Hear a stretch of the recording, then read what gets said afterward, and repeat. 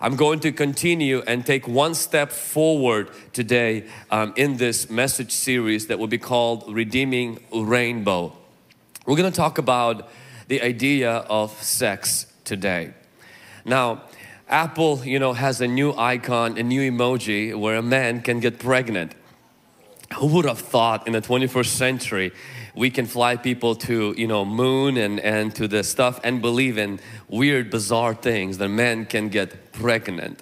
Recently, one of the sidekick, sidekicks or side um, sidekicks of Mr. Beast, who has a probably one of the most subscribed subscribers on YouTube, over 140 million um, subscribers. And the reason why I'm highlighting that is because his sidekick, you know, Chris Tyson, who you know came out and publicly started to defend different form of sexuality. He was married, has a two-year-old son, and went from being a father to you know acting like a like a woman and transgender in uh, embracing a different identity.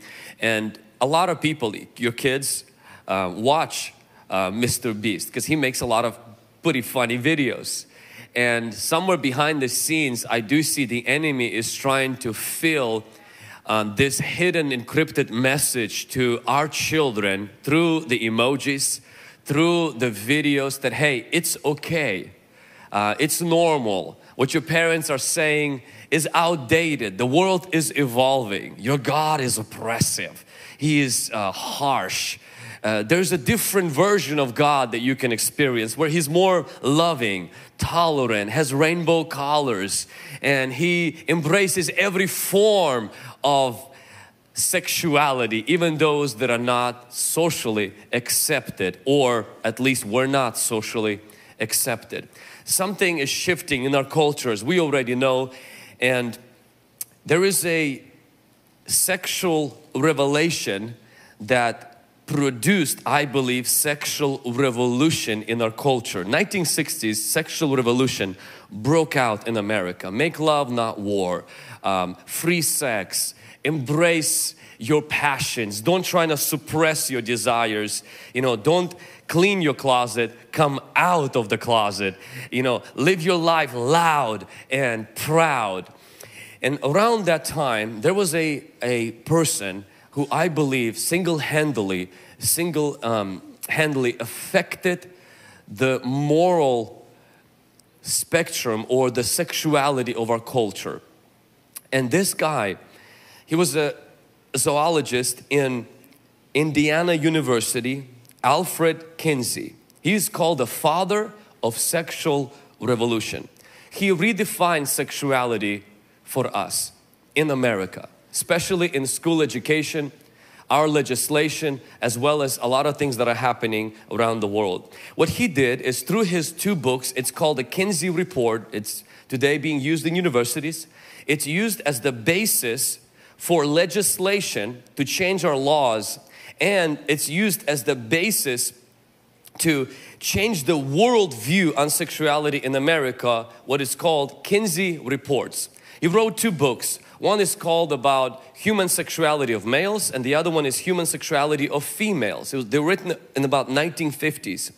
In those books, two books, what he did is he brought taboo topics and shocked statistics about how the things we think are not accepted are actually practiced behind the scenes and the America should change its laws to adapt to its norms that we are afraid to admit we have. For example, one of the things is he said 17% of farm boys have physical relationship with animals. He said that over 70% of women have an affair and not only it doesn't affect their marriage, it actually helps their marriage. He said 10% of males are practicing homosexuals. He said that in 1950. Right now Gallup um, report is saying that currently 2023 only 5.6% of population in the United States are practicing homosexuals 5.6% so the fraction of our population that are openly living LGBTQ community lifestyle is not 10% it's only 5.6 so this man fabricated exaggerated reports to show to the American audience that the things we are afraid of are actually happening behind the scenes. There's these norms we should adapt to that are really sexual sins and sexual perversions.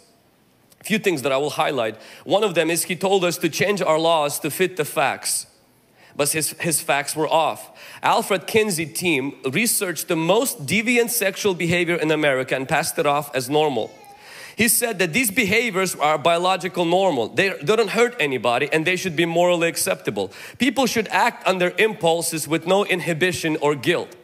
The challenge is this, is most of the people that he interviewed, they said about 17,000 people he interviewed for his report, most of them were people who were locked up in jail as sex offenders and pedophiles. In fact, one of his books used experienced experts or trained pedophiles, nine of them, to tell us information about sexuality of children and he got that information from pedophiles. They should have locked him up to, in jail for that.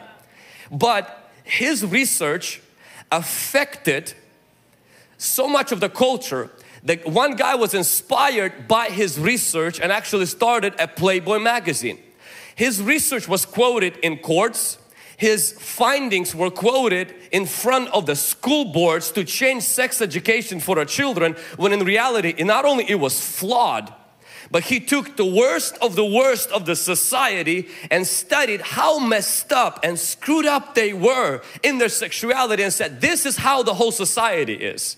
It's kind of like taking a serial killer, studying his impulses, his lusts and passions and say, we all should lighten up on our laws on murder because all of us inside are just bunch of serial killers. That's exactly what happened. Some of you say, well Vlad, whatever he did was weird, bizarre, it doesn't matter. But I'm going to share, share uh, a study that was done. In 1951, a study at the University of California, psychology students were split into three groups. One group studied Kinsey's research for nine weeks as a form of education, and two other groups studied normal teachings on sexual education and other stuff. After nine weeks, they did a sex quiz on three groups, and this is what they found out. Students who learned about Kinsey's work were seven times more open to premarital sex and twice as accepting of adultery.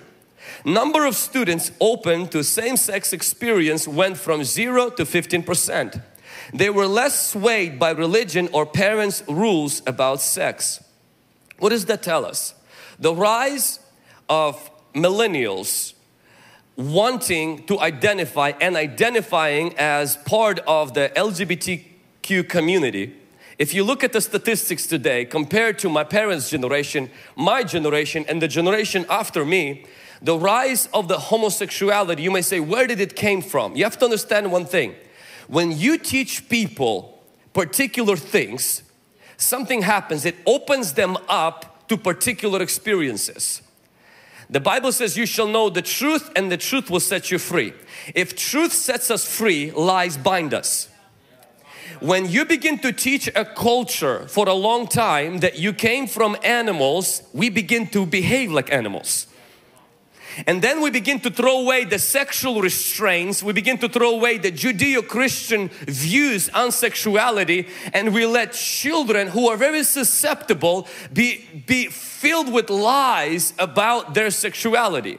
For example, sex education in the United States for children, elementary, middle school and high school was mainly focused on basic biology and basic reason of why sex exists and how procreation happens and the importance of knowing about sexually transmitted diseases. That's what it was. Today, it's different. Today, it's about promoting other forms of sexuality and tapping into everybody's dirtiest thoughts and impulses and say, that is not dirty. That's okay. You're not the only one.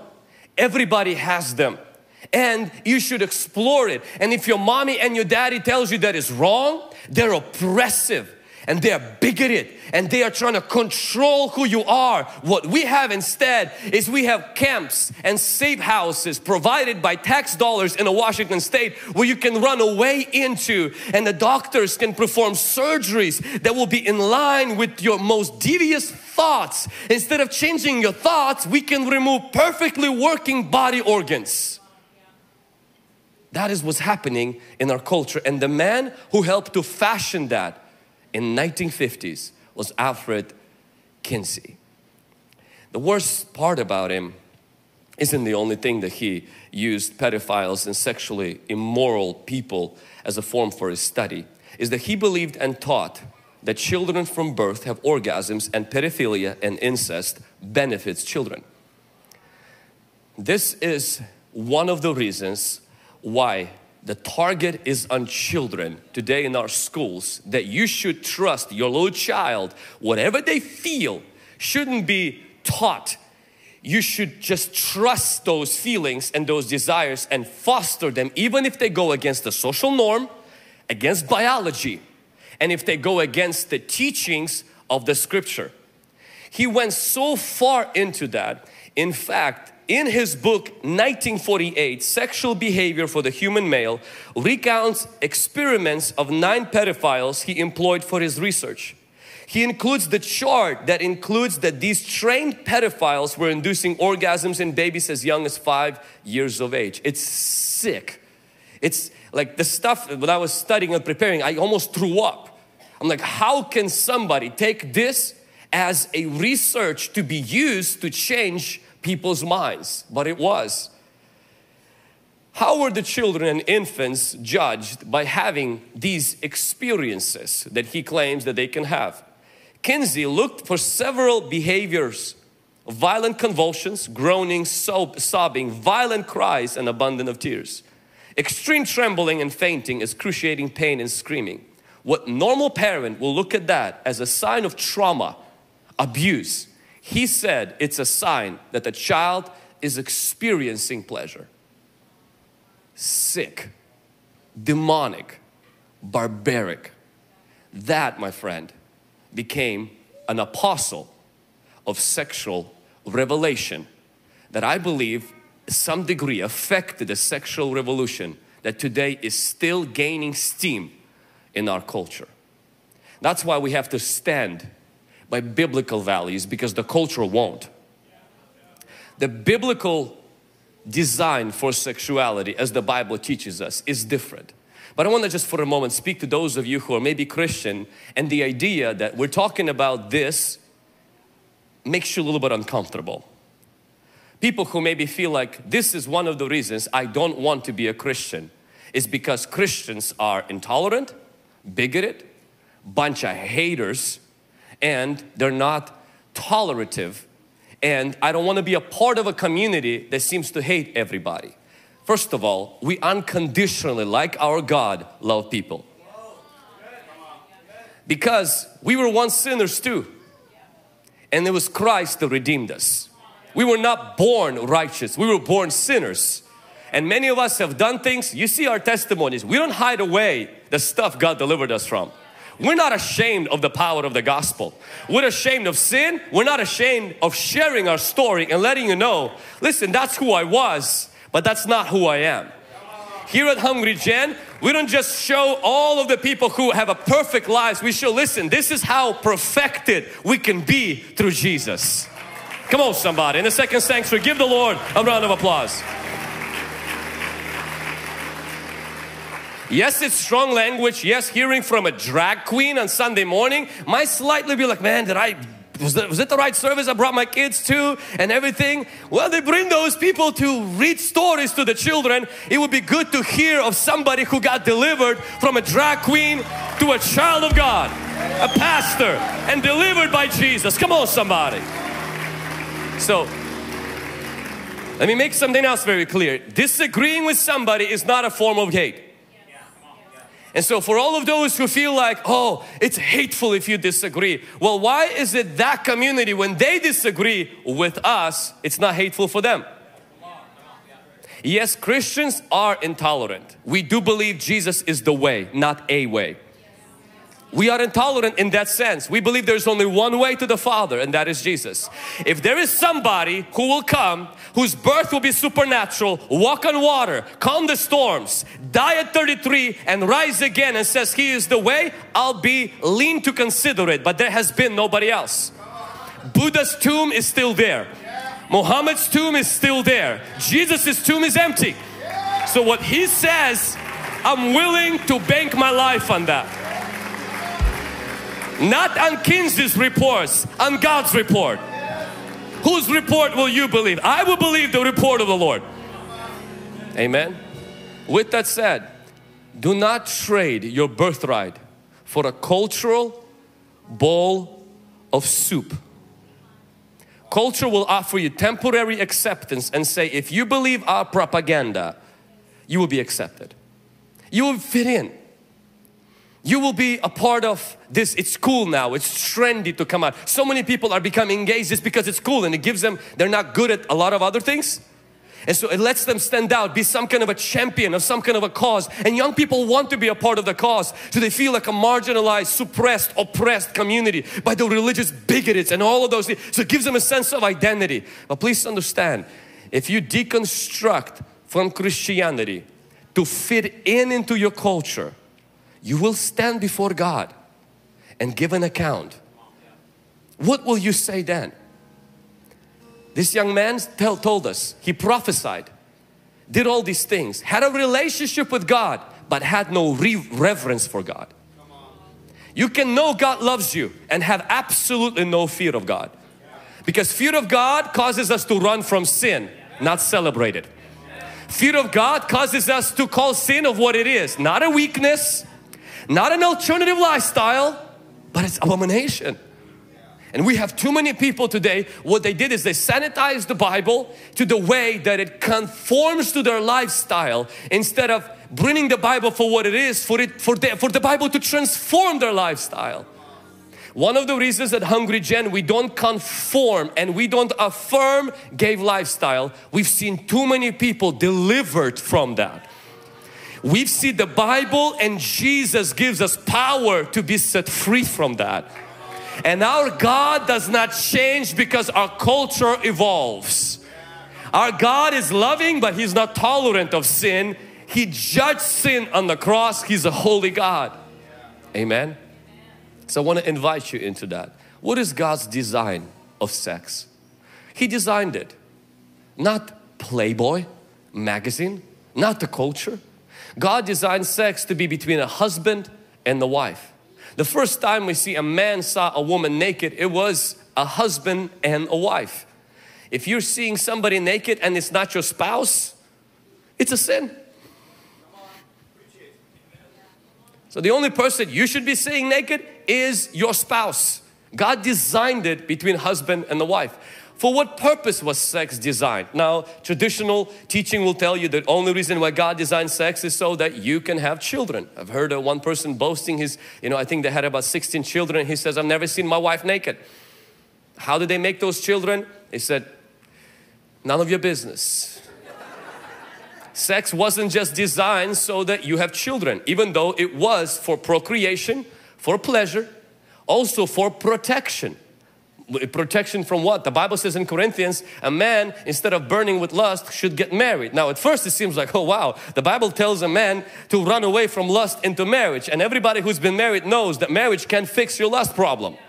But Paul is saying that marriage, marital bed and healthy intimacy in marriage does provide a sense of protection for a man and a woman. Come on somebody. More protection Lord. Pleasure intimacy, knowing.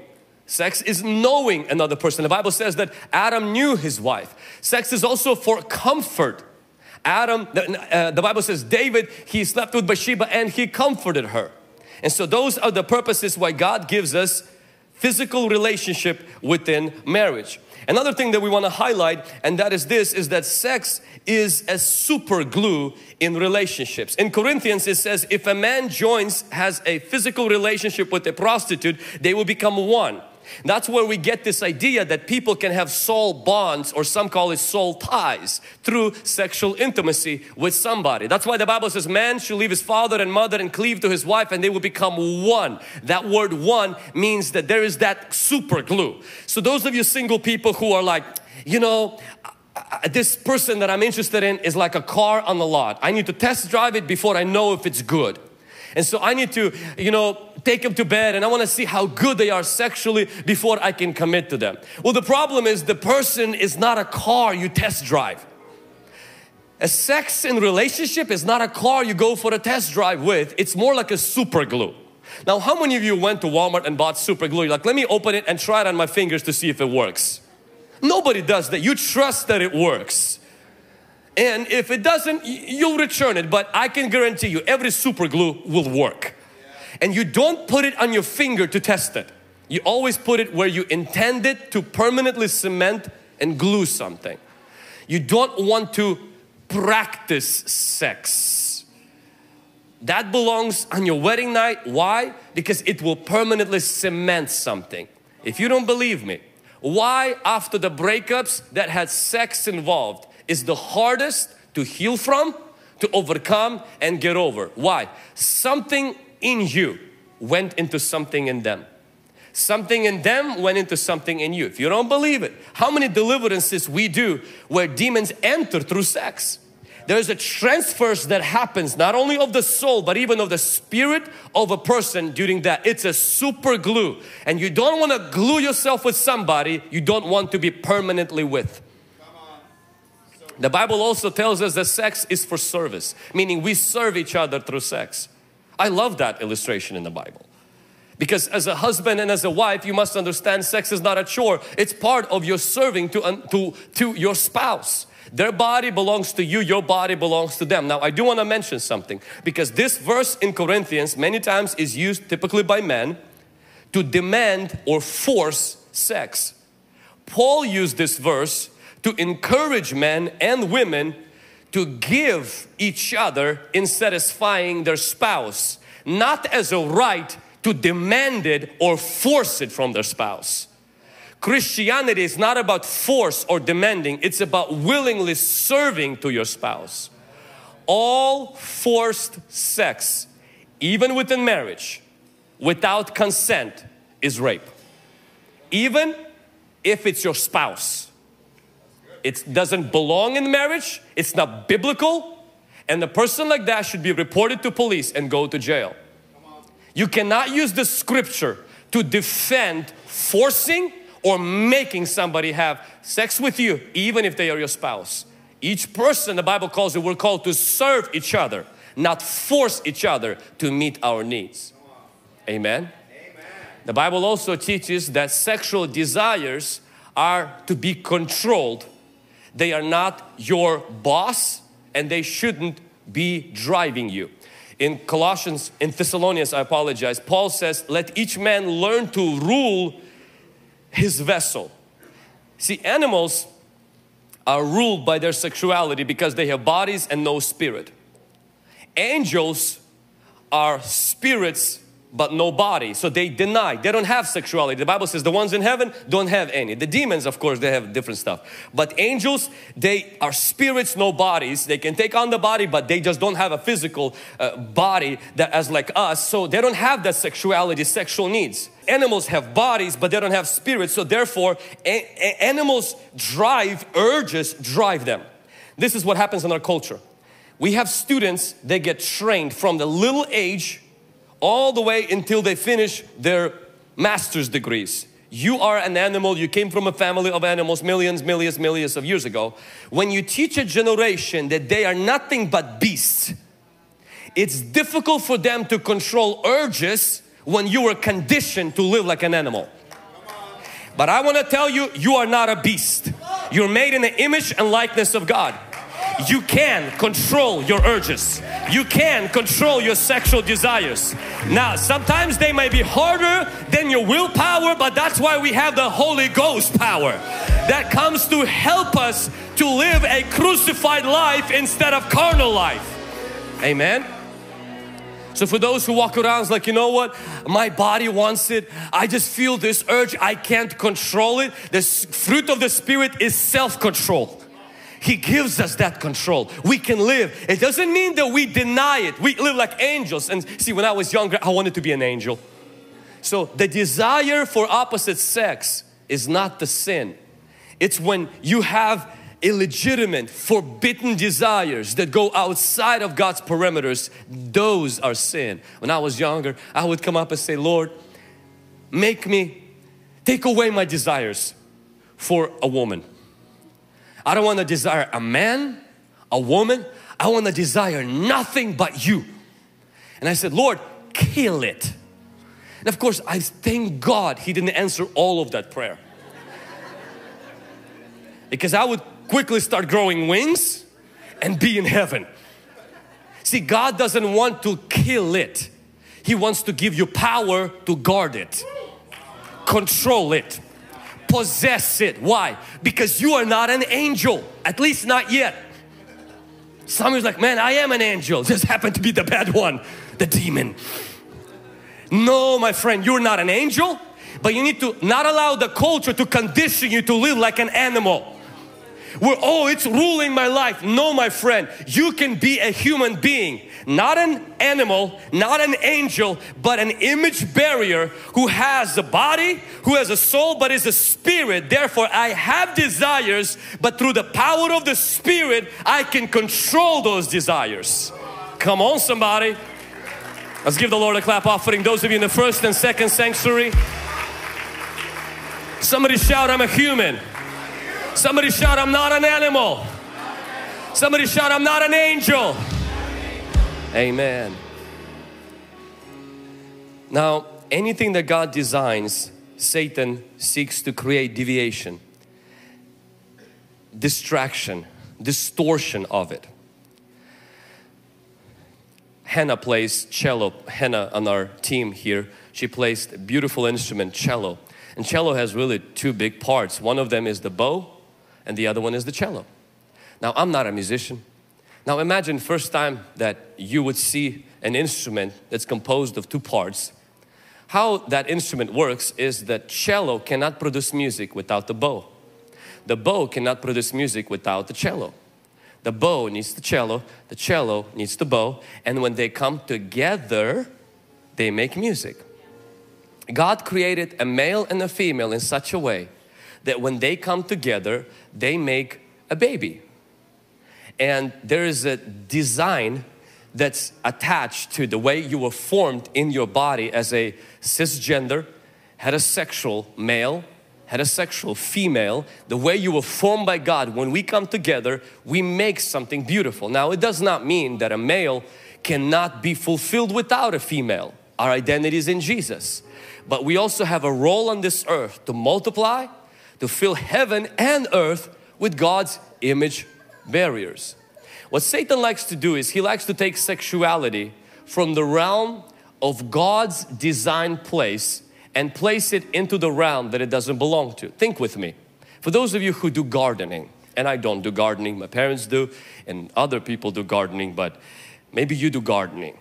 In gardening, you have to have soil for the flower bed or for anything that has to do with, with plants, soil, nurturous soil, good soil. As you put that soil there, it nurtures the flowers. Take exactly the same soil that nurtures, nurtures, nurtures flowers, add it to your salad during the dinner. It will no longer be nurturing, it will become dirty, nasty, and it will become something that's not healthy actually it becomes dirt. Why? Because in the flower bed, it's a soil. On your dinner plate, it's dirt. Sex is powerful, but it's nurturing. In the flower bed, as God designed between a husband and the wife, it causes nurture, bonding, comfort, protection, pleasure, procreation. When you take it outside, and you put it into a dinner plate or you take it into a same-sex relationship. Me and my boyfriend or me and my girlfriend instead of a heterosexual cisgender between husband and the wife relationship what you begin to experience is guilt shame. What you begin to experience is sexually transmitted diseases. What you begin to experience is things just don't flow together. They're not it's not working together did you see that um, guy that was riding a shopping cart in San, in um, San Antonio you didn't see that? Now, a shopping cart is to put groceries in. He decided to take it and put himself in it and drive it. Now, you may see that as creative and you may say, well, that's exactly what we do with sexuality. We just take it outside of the social construct and we add it to something else. But the Bible calls it abomination because it's different. Unlike the shopping cart, our bodies, our emotions were created by a creator and they have a particular designations that flow with that design. Everything we buy, we have warning labels on them today. You know, don't use it like this. Take this pill for example, if you take melatonin, it's supposed to help you sleep and you treat it like Advil and you take pills of melatonin and get behind the steering wheel, you're gonna fall asleep. If you treat the clicker of a gun like a clicker of the pen, somebody will die. There are certain things that are designed for particular ways and if we stay within those designs and those designations, the world is safe, there is love and harmony. When they are taking out of those designations, we begin to bring harm and we begin to not only offend our Creator, but we begin to hurt ourselves as well.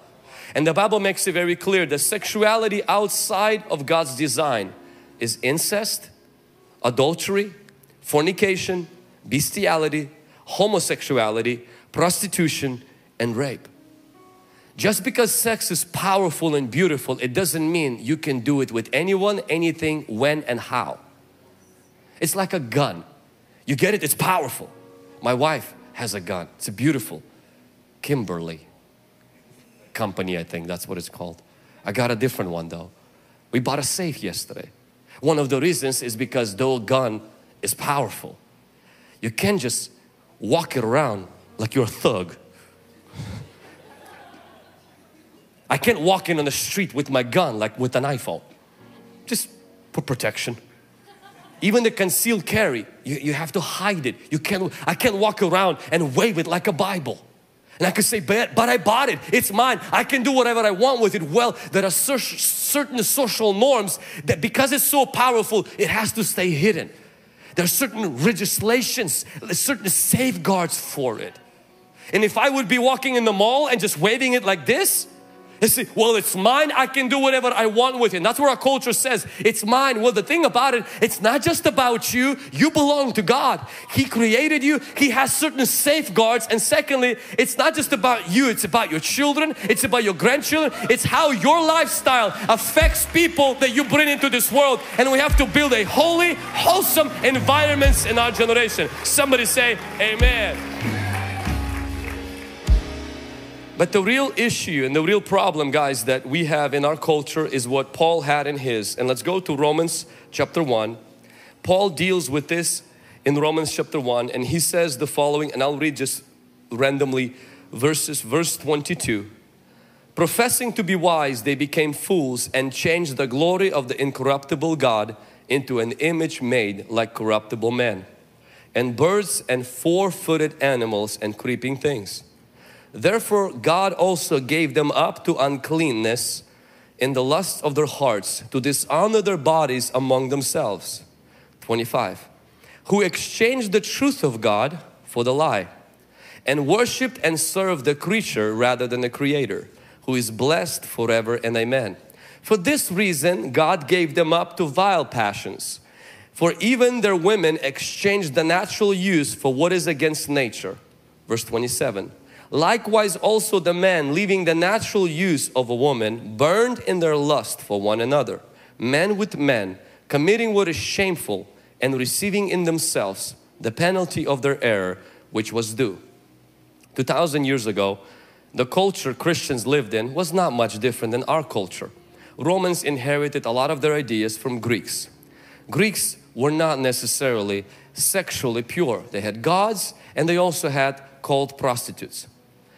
Romans took it to another level. Their god Zeus at one time transformed himself into an eagle to steal this young man whom he made into his husband or his partner. He was a practicing homosexual god. So it's no wonder when Paul was writing this, Nero the emperor took one young man, castrated him, and made him into his wife. Sometime later, Nero married another man, and Nero made himself a wife, and his husband became a husband. The culture was so perverted, it was pedophilia was very normal. Older men regularly had physical relationship with teenage boys temples were filled with prostitution, male and female prostitutes. Please understand, what you see today on the streets of America, America is becoming more like Rome every single day. From our governments, big tech, as well as everywhere, perversion is becoming normal. Paul did not endorse it. He wrote stuff against it. And here he gives us three problems. Number one, he says this, everything started with one thing men exchanged the image of God for their own image. Now for those days in Rome, they had gods that they built with their hands and they worshiped them. At first it may seem like, well, what's wrong with that? Well, the demon, demons would come and take the place of those idols and now demons actually control those people. Christians differ from Roman pagan culture is because Christians didn't worship gods that they made. Christians worshiped God that made them. And that God had a face and the face of that God was Jesus Christ. You want to know the photo of God? Look at Jesus. He is the image of invisible God.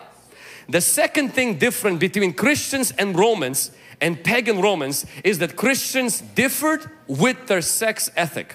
Sexual ethic was different than the ones of Romans. Christians believed in marriage between a man and a woman. They believed in sex between a husband and wife. They didn't believe in rape. They didn't believe in incest, in polygamy, and so many other things. And so Christians were different. And Paul begins to draw that line. And then he tells us in Romans that when we exchange the image of invisible God into an image of idol, after that we suppress the truth and we exchange the truth for a lie. And then what God does, God steps back and gives us up to our passions, debased mind and all other perversions. Our culture did exactly the same. Now, we don't have Buddhas that we worship in our houses. We don't have things wooden. What we have is we have an image of God in our mind that we created, a God that's tolerant, a God that changed with times, a God that's not oppressive and tells us what to do. A God that doesn't change because we created Him. It's an image of a God who doesn't exist. But He exists in our mind. And this image is actually what demons attach themselves to. When we make this God, after that, we change the truth. We suppress it first, after suppressing and suppressing and suppressing, Kinsey's report, others reports came, and now we change the truth into a lie. And God steps back and He gives us up. Guess to what? Our own passions for us to self-destruct. Today, our truth is what matters instead of God's truth. But to follow your own truth is like following a wheelbarrow. You're the one guiding it.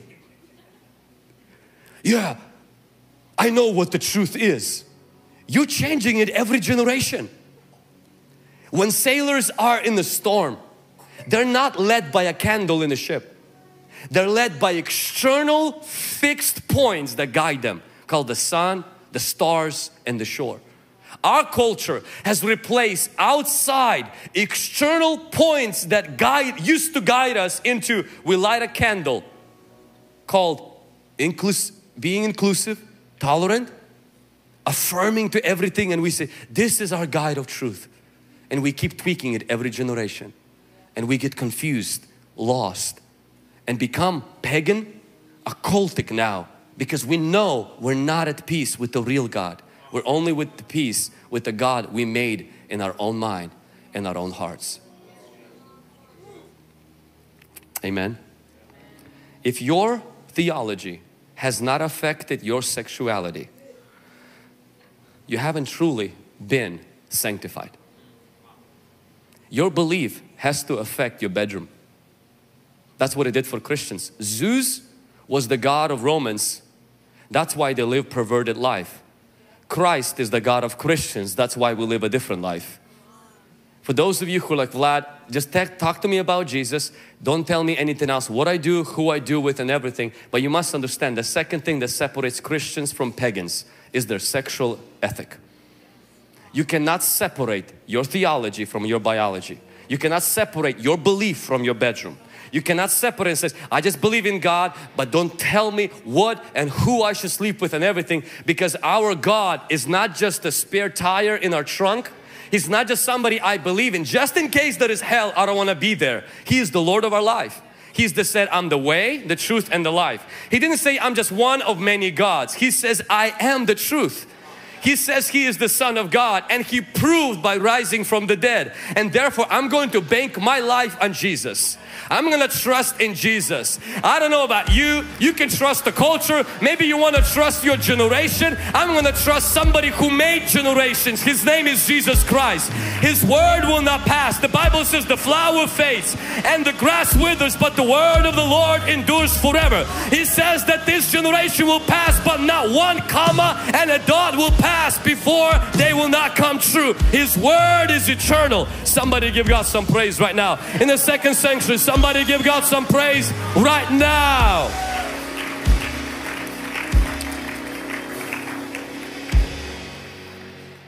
The last thing that I want to highlight and that is deliverance. Becket Cook was born in Texas but then he moved to LA. Moved to LA because it suited his gifts and his creative side as well as his homosexual orientation. At a young age, he was sexually abused by one of his father's friends. And he started to live as an open gay person, came to California, worked for ads for Nike, Louis Vuitton, as well as helped work with very famous photographers for different very successful companies. One of the things that he constantly felt is sense of emptiness. Every boyfriend he had, male boyfriend, cheated on him there was a sense of brokenness that was there. At one time, he was at this party in Paris, and this emptiness became so real. He started to question why do I exist? Is there more to life than this? He entertained the thought of God, but he knew clearly what God thought of him because God didn't endorse that lifestyle, so he put that God thought to rest. At the same time as he was living openly gay lifestyle, Becket had a mother. She was a devout Christian. She never bera- shamed or called him with names. She loved him, but she knew and she made sure he knew what God believed about his lifestyle. And she prayed for him. Interestingly, he actually recently shared his prayer point, her prayer points, and I'm gonna uh, highlight them. It was a very powerful warfare prayer prayer that went like this Lord, deal aggressively with the enemy. Lord, come against him in all powerful name of Jesus with the sword of the Spirit, with the Word of God. She would say, Lord, I ask you that you will command these things to be removed from my son Becket. Spirit of homosexuality, desire for homosexuality, denial of his heterosexuality, Remove all the blocks of truth. We bind you Satan in the name of Jesus. Becket belongs to Christ. She prayed and prayed and prayed and she died. She didn't see his son, her son come to know Jesus. Two years later, in a coffee shop in LA, he sees people reading the scripture in the coffee shop. So he comes up to them and he says, are you guys Christians? They're like, yes, we are. And his second question to them was, what do you believe about homosexuality? They said, we believe the Bible says it's sin. And he says, if this would have happened five years before that, I would tell him, your God is outdated, repressive. Your guy's stuck in 1950s. What's wrong with you? But he says, because of what happened six months or five months before that in Paris, that sense of emptiness, he says, I was willing to listen to them as they told me the gospel right there. Almost like they were attacking me, but they were not attacking me. She's like, before that, I would have felt like their belief attacked me, but this time I knew that my own lifestyle was judging me. He said, I went to church. See, the mom's prayers were still working.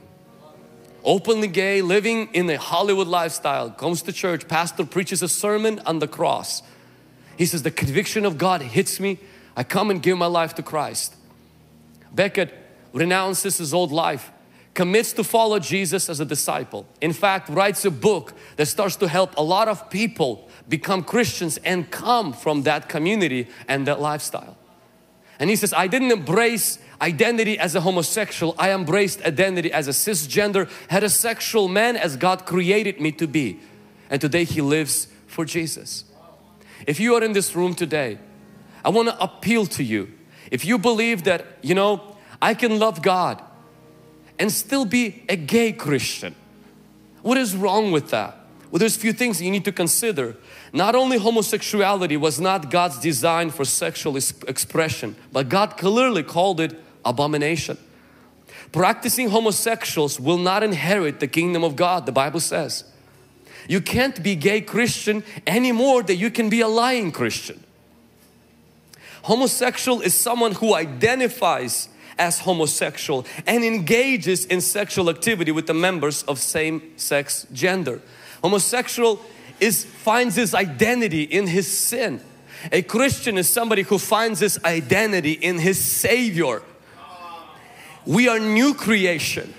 We don't drag our old life into this new life. The Bible says if you take an old piece of cloth, attach it to the new one, you ruin the whole cloth. Meaning Jesus doesn't want you to drag parts of you that you can't change into your relationship with Christ. He wants to be the Lord of everything about you, not 98% of you. Can somebody say amen? Being tempted with homosexuality is not the same thing as identifying as homosexual.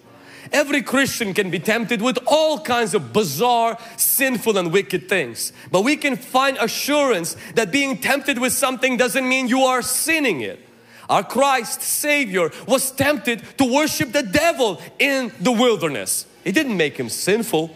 Being tempted with something that's sinful doesn't make you sinful. But when you take on the sinful nature, sinful inclination and desires and said, this is the way God made me.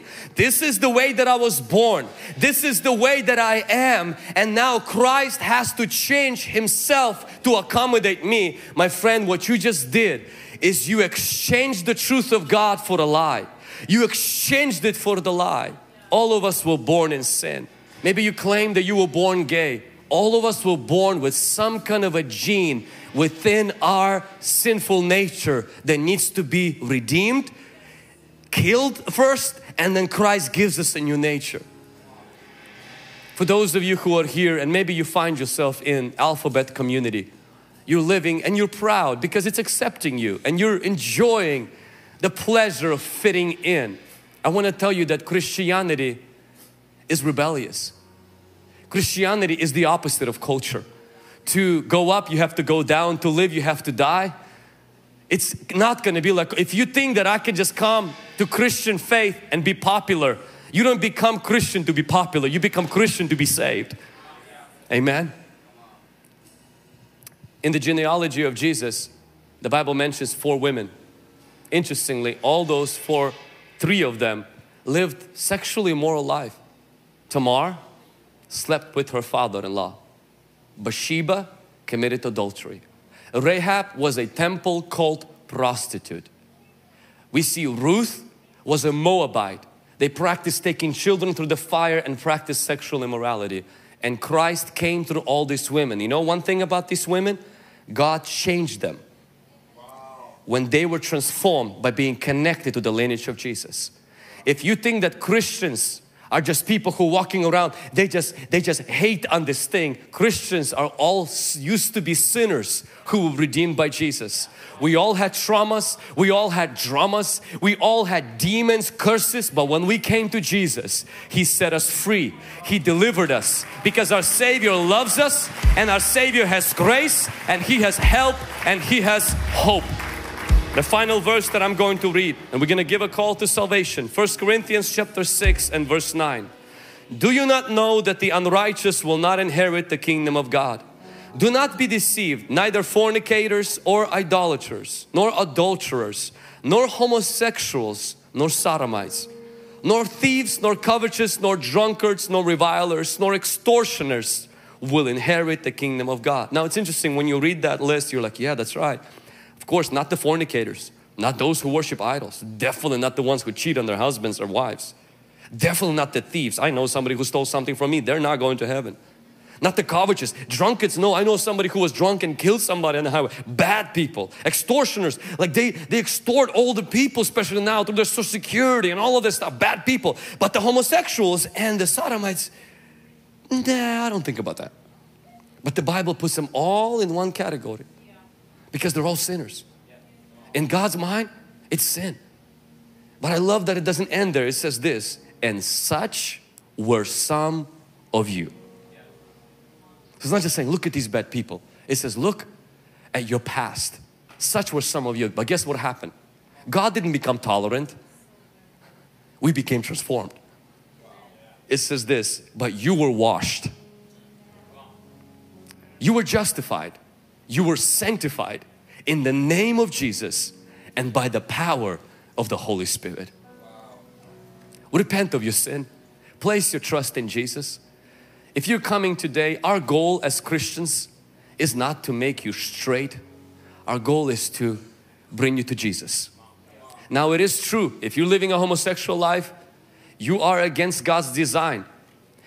But if you choose to rebel against God, make up your own God and go to hell, honestly, it's your decision. You can do as you will. You're your own God. You make rules as you go. I remember a young person met me in the lobby one time and he asked me a question. He says, Pastor, is it sin to smoke weed? I said, for you, it's bad. He says, but I can still do it, right? I said, absolutely. He looked at me with these eyes. He said, you're telling me I can smoke weed? Now I knew his parents. I knew they were praying for him. And this boy was as lost as anybody can be. And I liked him. I said, you know you're going to hell. You know that, your mama knows that, half of your school knows that because he got kicked out of school for dubious behavior. I said, you know that, right? I was like, what difference will it make if you go to, to hell as a pothead or if you go to hell without smoking pot? I said, if I would be you and I would go to hell, I would smoke all that I can so at least when I'm there I know why I'm there. Now this again, just this is not a conversation you should have with everybody, but this is just, I'm just telling you what the youth pastor said to young men. He looked at me, his pupils were like, he said, you kidding me, right? I said, no, I'm just with honest truth. I said, you don't want to follow Jesus. You practicing sin, just, I'm like, live it up. You're going there. You'll probably get there faster though. At least when you're there, you'll know why you are there. That night he gave his life to Christ. Praise God.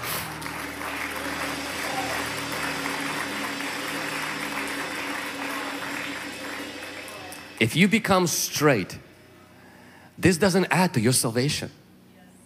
We are saved by the grace of Jesus, not by our cisgender heterosexual lifestyle.